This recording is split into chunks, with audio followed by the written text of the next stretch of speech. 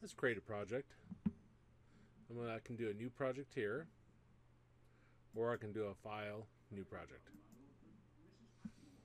And uh, you should have different uh, programming languages over here. Of course, uh, you want to choose Visual Basic. And you can expand that to see what options available. There's a classic desktop, um, test, then uh, just Visual Basic shows these.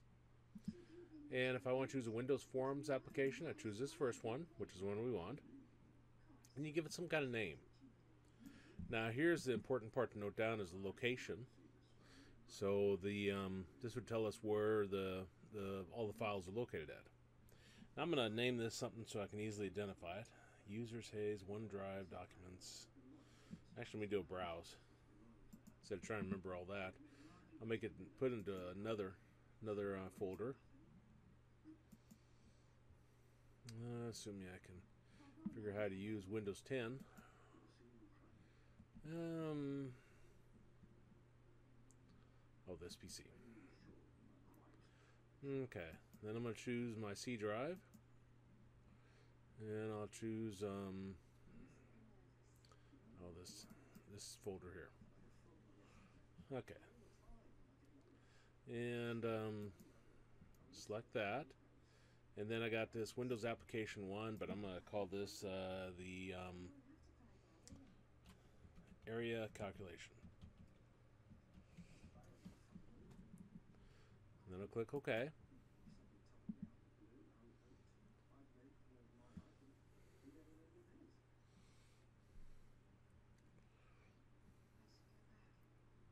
Okay, pops up here with our blank form. You should have your toolbox over here.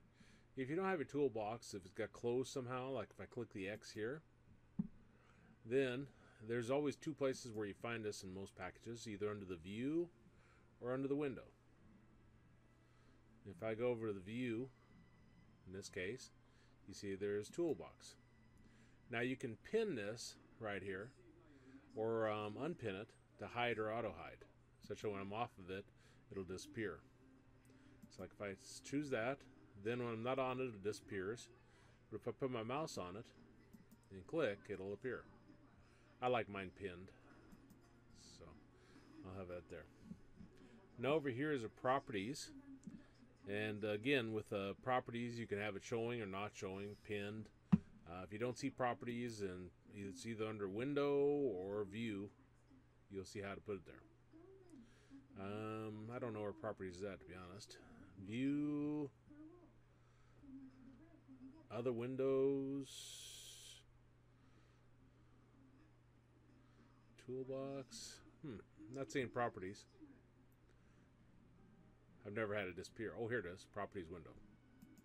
Okay, now if I want to drop something on there, then I, um, looking for the text box. Here it is. I can double click on that, have it appear. I think you can even click and drag it on there and have, have one drop on. Okay. And um, this is where they would enter in information here. Let me see. I'll figure the area of a triangle.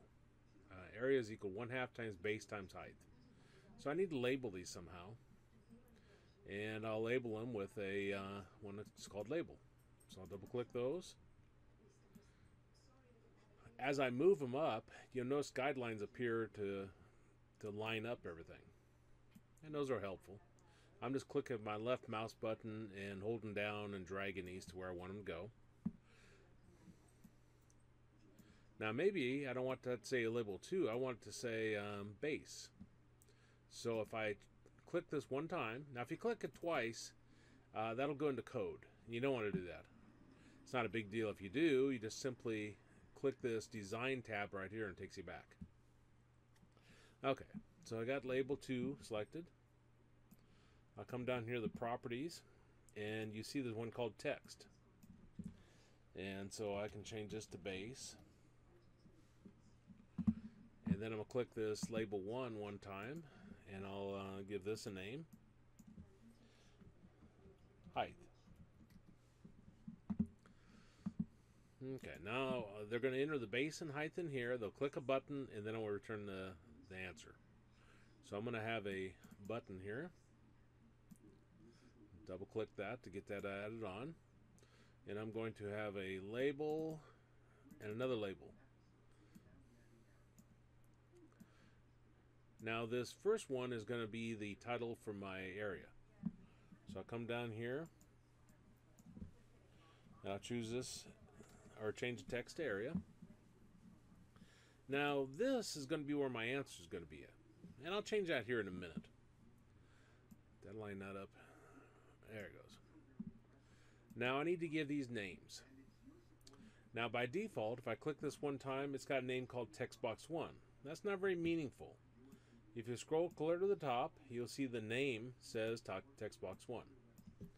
So I'm going to name that TB underscore base. The TB stands for text box.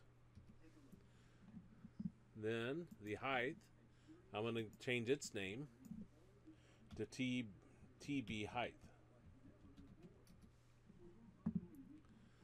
This is going to be my answer, but it's also going to be my area. It's a label, so I'm going to call it LB underscore area. It's important you give these uh, meaningful names. Now I don't want this to say button 1, so I want to change the text property of it. Do not get overwhelmed by how many properties are here. You'll find the majority of them you will not use. And I'll change this to say, I don't know, calculate. Now if I just click the outside of all those those items there, those are called um, controls, then it selects the form itself. You see it says form 1 up here. If I change the text for that, I can say triangle calculation program. And then up here you see it says triangle calculation program. Now this I currently have same label for, and that isn't a very uh, user-friendly thing to appear, but I'm going to make it invisible to begin with. And how we do that is we click the label for. You see how we have visible here says it's true. If you double click that, it'll change it to false. Okay, now let's run this. I'll click the start here. Or um, you can do a debug and start debugging here, or it looks like you can put F push F5. But I'll click the start button. It'll build this, looking for errors. We haven't put any code in, so probably no errors. And here's our program. Now maybe I want that to be a bigger, bigger screen. So I can come over here and resize this by grabbing those little corners and resizing it. Maybe these I want them to be be larger. So I can uh, I highlighted everything. How I did that is I clicked and held down my left mouse button and dragged and corralled all these together. And probably under font is a size, I'm guessing. Yeah, there it is. So 8.25. I can change that to 18. Then I click out of this. Okay, and that's a little bit bigger. There we And I'll resize my button for calculate. I move that down there. Move this right here. Okay. Now if I run this, and I see more of my title there, and I see this, and I don't got it centered right, but that's okay. We haven't put any code behind the calculate button yet, but that's uh, our basic um, basic form. Okay, now when we click a button, what we want to do is we want to get the values that they put in for base and height and calculate area. So I'm going to double click calculate. Now when you double click, it'll it'll program the most common action. And the most common action for a button is for you to click it. There's other ways you can do that. Instead of double clicking it, you have the button chose here. And over here you see some different um, different items across the top. And specifically, there's one that says events. And these are all the different items you can program for a button. You can drag leave, dock changed, enter, font changed, give feedback, key down, key press, key up, mouse down, mouse enter. Mouse enter is like when your mouse goes over it. And mouse leave is when your mouse goes off of it. So there's a lot of different things you can program. But anyway, we're going back. I'm going to click this form 1 here to go back to the code. Okay, so and we want to bring in the uh, base. We want to bring in the height. And we want to calculate the area. Now, um, we'll talk more about the dim, but that that uh, declares the variables. Now, I'm not saying what uh, type they are yet. We'll go into that later on. But I'll just say base is equal to, and uh, it was TB underscore base. Now, when, when you start typing TB, notice what comes up. And then I can just do a tab if it's the one I want. Our height, we can do TB, and then I can do a down arrow to the height and do a tab. And then our area is going to equal to base times height. Now times is done by an asterisk. Okay, so we got base and height from the form. We calculated the area. We then want to write it out to this control right here. Label 4, which we renamed as LB underscore area. So if I come here, I'll do LB underscore area dot text. Because text is where we put what it, what it says is equal to area. Well, there's some issues with this, um, but uh, let's run it and see. Okay, so I put in 4 here, put 5 in here, click calculate. Now we get an error, and you got to learn how to interpret these errors. It says um, additional information operator asterisk is not defined for type text box and type text box. And you can click continue or break. Usually break is what you want to do. Um, now this right here breaks out of the code and we can do the little square up here to actually stop the debugging.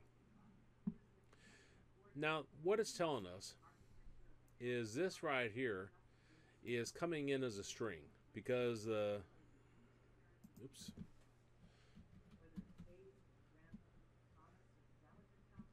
now it'll be coming in as a string when I did the TB underscore base, I should have referred to dot text. Um, that retrieves what's what the text says. Okay, now we should see it a little bit different. But we still got some issues. I click calculate and see how it's not coming back. Now, what you can do with debugging, and we'll get into a lot more of this, but is if your code's not working right, then you can come down here and you can click. Oops, click the, right here, I guess. It puts a little red circle. Uh, I'll put it here. And now I'm going to click start. I put in 20, I put in 2, and I click calculate. It comes back and tells you what everything's equal to. And currently, base is not equal to anything. If I my mouse over, it says nothing. Now you can do a debug and uh, step into F11. And it'll, um, zone mix step over property. do you want to continue to be notified? No. Okay. Okay, so it went past that code and went down to here.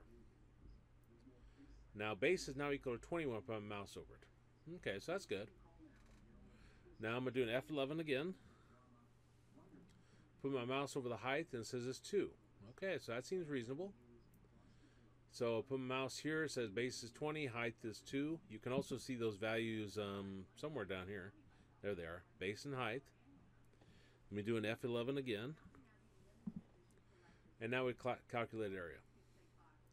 And area is equal to 40, and that's what it should be. 20 times 2 is 40. We haven't put the 1 half in there yet, because um, I want to talk more about that. Okay, and then we'll write it out to the um, the answer. So if I do an F11, does that? If I mouse over it, says text is 40. Okay, so let me stop this. I'm going to click the little square up here. Stop debugging. To rid of this uh, little red circle, that's called a breakpoint. You just click that one time and it takes it off. That helps you to, to walk it through. line by line to see what's going on. And I'd recommend that you get used to that very early on.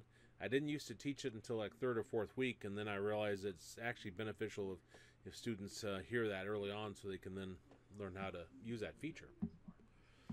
Well, remember we set our, our, our label here as invisible. We said visible is equal to false.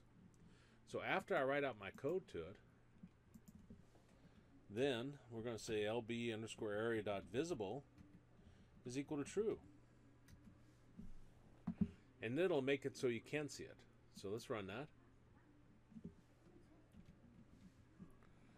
Click calculate, and you see we get 40. If I change this and put 32 in, it gives us 64 and so forth. Now, part, part of the problem is, though, is this is very weak, weak programming. Uh, there's programming languages that are strongly typed where you have to tell specifically what type of variable it is. Don't worry about that overly right now, but but realize there's some problems with just bringing in like I've done here. Saying dim can be anything. The base can be a number. It can actually even be a string. Let's see what happens when you run this and you put A and B in here. And click calculate. Uh, it says uh, conversion from string A to type is not valid. Um, so I'll go ahead and continue. There we go. So there's some issues there, but like I say, we'll talk about it. Now, I want to talk about the one half. In some programming languages, not, to be honest, I don't remember what Visual Basic does. If I do 1 divided by 2, and then times base times height, that seems reasonable. But some programming languages will do integer division here which means they'll do 1 divided by 2 integer wise. And if you did 1 divided by 2, that gives you a 0 with a remainder. Uh, so it takes 0 times base times height. Okay, now let's try that and see. To be honest, like I say, I don't know. This will give me 40 times a half, should give me 20. Okay, so that's working fine. On some programming languages, you simply have to do a dot zero on each one of these and this forces it to be to do not integer division, but just to do uh, float what's called uh, floating point uh, division, where you got um, decimals. I don't think that actually changed our results any when I do this.